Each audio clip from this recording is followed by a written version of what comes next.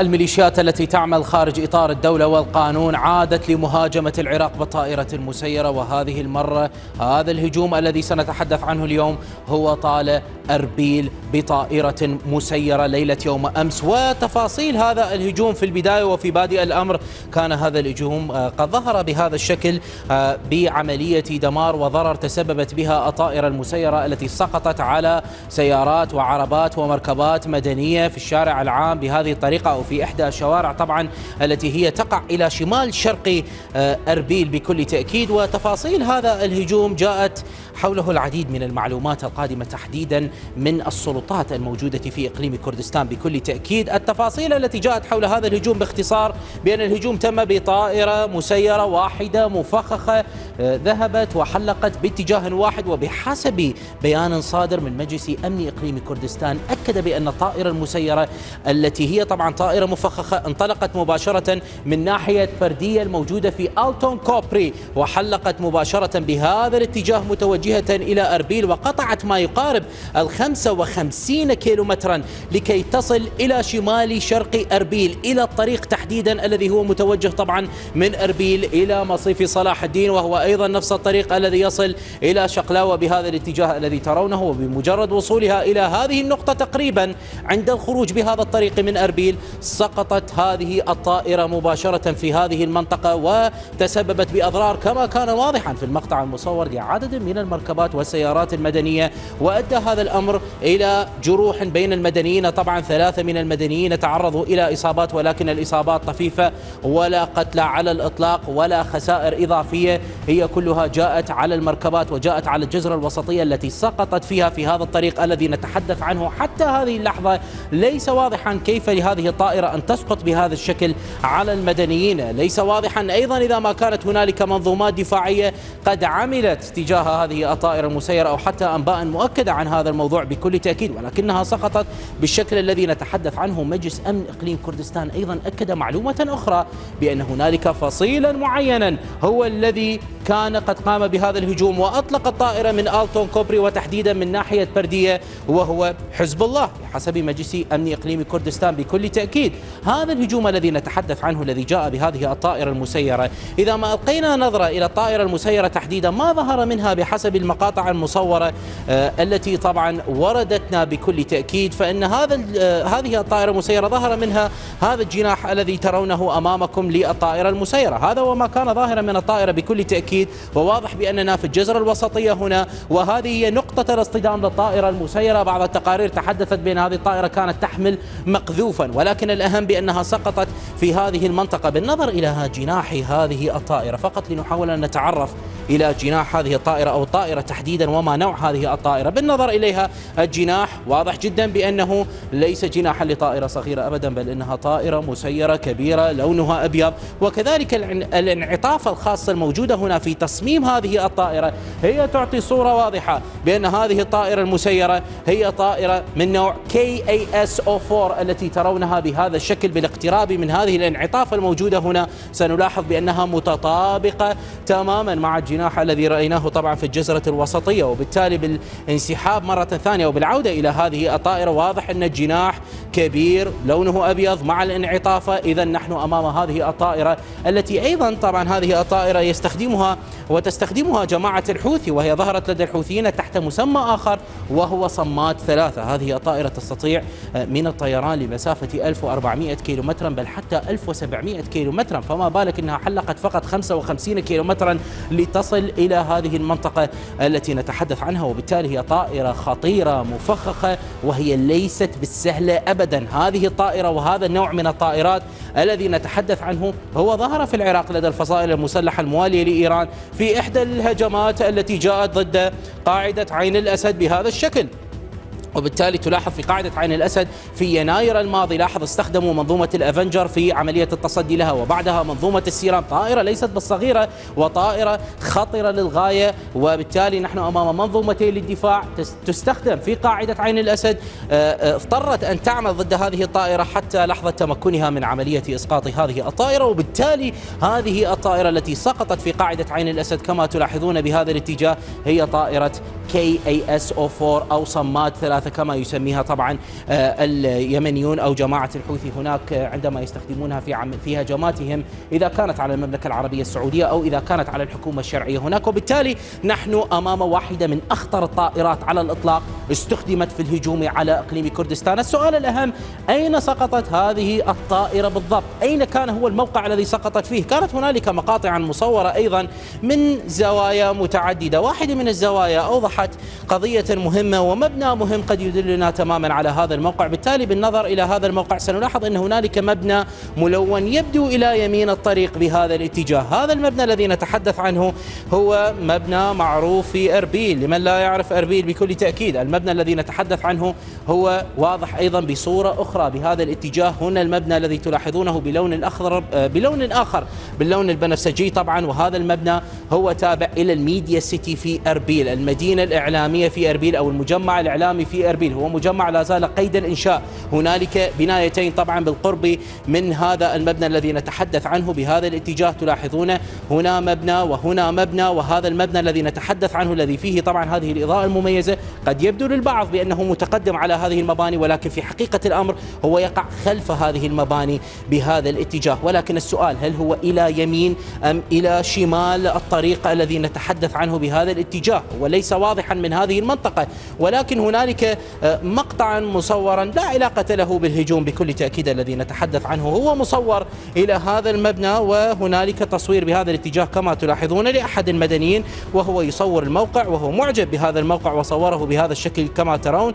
وبالتالي بالإلقاء النظرة على هذا المبنى وهو يسير بهذا الاتجاه وهنا اتجاه آخر طبعا كما نلاحظ هذه الجزر الوسطية. الموقع والمبنى تحديدا إذا ما نظرنا وألقينا نظرة على الإضاءة الخاصة بهذا المبنى. طبعا هذه المباني التي تلاحظونها هذا واحد من المباني من المبنيين المتقدمة على هذا المبنى. وبالتالي هنا لدينا طبعا نوع مثل العشوائية في عملية الإضاءة كما تلاحظون. هذه النقاط كما تلاحظونها بهذا الشكل. إذا ما لاحظنا واحد اثنان ثلاثة وكذلك نقطتين متقاربتين نقطتين متقاربتين من هذه الجهة قد تعطينا فرصة لكي نتعرف على هذا الموقع. وإذا ما كنا أمام الصورة الصحيحة والواقعية لطبيعة الاتجاه وأين تقع هذه النقطة؟ بالنظر إلى هذه الصورة مرة ثانية. سنلاحظ بأننا أمام واحد اثنان ثلاثة للإضاءة وهذه نقطتين وهذه نقطتين متقاربتين وبالتالي هذا يوضح بأن عملية التقاط الصورة توضح أن هذه المباني هي كانت إلى الشمال من هذا الطريق وهي تعطي فرصة لنا لكي نتعرف على الموقع بشكل أكبر بأن طبيعة هذا الموقع الذي نتحدث عنه بأن السير كان يأتي بهذا الاتجاه وأن المباني كانت إلى الشمال ومعنى ذلك أن الطائرة المسيرة قد يعني هذا بالنسبة لها بأنها كانت متقدمة بهذا الشكل إلى عمق أربيل. دعونا نتوجه إلى القمر الصناعي فقط لنؤكد هذه المعلومات والتفاصيل ولنفهم أكثر أين كانت هذه الطائرة المسيرة. بكل تأكيد بالاقتراب بالقمر الصناعي الآن مباشرة إلى أربيل وإلى إقليم كردستان تحديدا. سنلاحظ بأن هذه هي أقليم كردستان وهذا هو الطريق المتوجه إلى مصيف صلاح الدين بالاقتراب من هذه المنطقة وهي منطقة ليست بالبعيدة أبدا من القنصلية الأمريكية التي هي لا زالت أيضا قيد الإنشاء بكل تأكيد. هذه هي القنصلية الأمريكية التي ترونها بهذا الاتجاه. هذا هو منزل الشيخ باز رؤوف كريم الذي قصف في مارس الماضي بالصواريخ البالستية مباشرة من العمق الإيراني إلى عمق إقليم كردستان. والمنطقة التي نتحدث عنها هي تأتي بهذا الاتجاه التي رأيناها في مقاطع الفيديو. هي تبعد تقريبا عن القنصلية وعن منزل الشيخ باز رؤوف كريم بهذا الاتجاه بما يقارب 3.7 كيلو مترا دعونا نقترب وأن نذهب إلى الميديا سيتي أو المدينة الإعلامية آه، لأربيل بهذا الاتجاه. إذا ما اقتربنا منها بصورة أوضح الآن فقط لنلاحظ هذه المنطقة سنلاحظ بأننا أمام نفس هذه المواقع التي آه، طبعا رأيناها في الفيديوهات. هذه المدينة الإعلامية التي رأيناها وهذه هي طبعا المباني التي ركزنا عليها والنقاط التي أخذناها وركزنا عليها هي تأتي بهذا الاتجاه. وبالتالي إذا ما انسحبنا قليلا من هذا الطريق قليلا الانسحاب قليلا إلى الطريق الذي كانت تسير فيه هذه السيارة التي طبعا أو السيارات المدنية التي تعرضت لها الطائرة المسيرة. وبالتالي نحن سنكون أمام صورة واضحة جدا. بأن بسبب الانعطاف لهذا الطريق وبأن السيارات كانت طبعا آه، تسير بهذا الاتجاه فإن سقوط هذه آه، الطائرة المسيرة كانت تقريبا بهذا الاتجاه بالقرب من مطعم هرورة المعروف طبعا في إقليم كردستان. هذه هي المباني وهذه هي الميديا سيتي التي كان واضحا منها. هذا الاتجاه الذي تحدثنا عنه وبالتالي التصوير واضح بأنه كان يأتي بهذا الاتجاه وبالتالي هذه هي العلامات القريبة لسقوط هذه الطائرة. وهذا يعني شيئا مهما بالنسبة إلينا لكي نفهم هذه النقطة. إذا ما عدنا مرة ثانية إلى أقليم كردستان فقط لنأخذ هذه النقطة مرة ثانية من سقوط هذه الطائرة. بالتالي المنطقة التي تحدثنا عنها تأتي بهذا الاتجاه. وكما تحدثنا أن الطائرة كانت قادمة من ألتون كوبري من ناحية بردية بهذا الاتجاه. وهذه المنطقة هي ليست بالبعيدة أبدا من مطار إقليم كردستان أو مطار أربيل بهذا الاتجاه. هي تبعد ما يقارب العشرة فاصلة خمسة كيلومترا أينما يتواجد وطبعا يتواجد مستشاري التحالف الدولي هم متواجدون هنا بهذا الاتجاه وبالتالي قد يعني هذا بأن مسير الطائرة كان يأتي ويهدف إلى هذه المنطقة ولكن لسبب ما سقطت على المدنيين وقد يكون بأن هنالك مقصدا من السقوط على المدنيين بكل تأكيد لهذه الميليشيات التي قامت بهذه العملية الخطيرة للغاية. هذا الهجوم الذي ظهر في أربيل هو جاء بعد دقائق قليلة قد تكون بعد عشر دقائق فقط من إعلان كبير جاء تجاه إيران من قبل مجلس محافظي الوكالة الدولية للطاقة الذرية أرسلوا إدانة ووجهوا إدانة مباشرة إلى إيران بسبب عدم تعاونها مع الوكالة الدولية للطاقة الذرية حول أسئلة وجهتها الوكالة الدولية للطاقة الذرية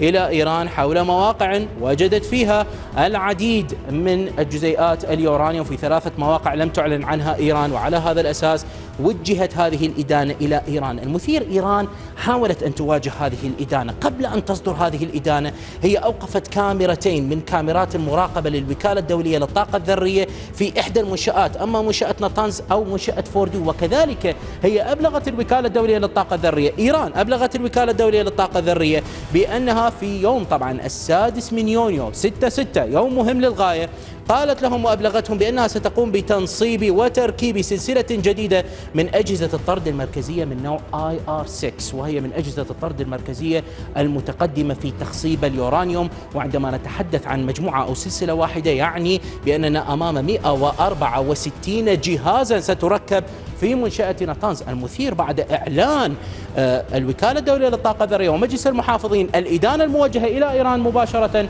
إيران اتخذت خطوات كبيرة جدا في الداخل قررت فجأة وبحسب ما تحدث عنه مدير الوكالة الدولية للطاقة الذرية بأن إيران أبلغتهم بأنها سترفع 27 كاميرا هذه المرة وستوقفها عن العمل من المنشآت النووية ويبدو بأن منشأة نطنز لديها آه، حقيقة أغلب الكاميرات ستتوقف هناك وبالتالي هو اشتكى تماما من هذا الأمر وما صعب الأمور وجعل الأمور تصل إلى مراحل صعبة أن إيران أيضا أبلغت الوكالة الدولية للطاقة الذرية آه، يوم أمس تحديدا أبلغتهم بأنهم سيضيفون آه، حقيقة سلسلتين من أجهزة آه، الطرد المركزية من نفس النوع الذي تحدثنا عنه وهو نوع ال IR 6 وبالتالي نحن أمام بأن إيران حقيقة وحقيقة آه، وضعتها إيران أمام الوكالة الدولية للطاقة الذرية والعالم بأكمله.